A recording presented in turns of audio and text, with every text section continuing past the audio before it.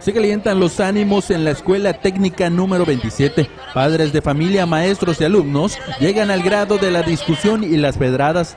Maestros y alumnos se han agarrado del chongo desde antier hasta el día de hoy para tratar de destituir a la directora de la secundaria técnica número 27, la profesora Rosa María Grajales Barrios. Según la estudiante Fabiola Hernández Bautista, el martes pasado les informaron que los profesores solicitaron la destitución de la directora Rosa María Grajales Barrios debido a que cada cinco años se debe llevar a cabo el cambio de directores en todas las escuelas.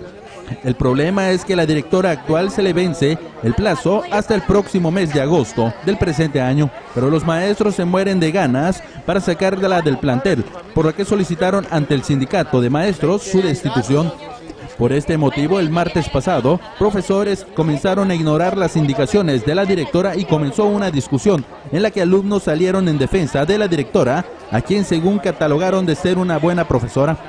Esto ocasionó que los maestros bloquearan las salidas de la escuela y que comenzaran a jalonar a los alumnos, quienes en defensa comenzaron a lanzar piedras, armando toda la trifulca.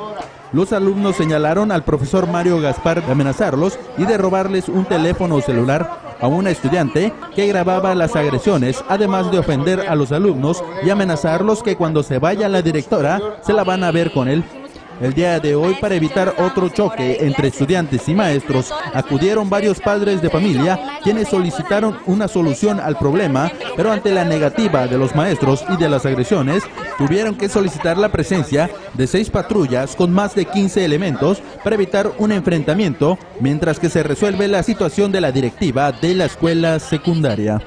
Para Notivisión, Ricardo Castellanos.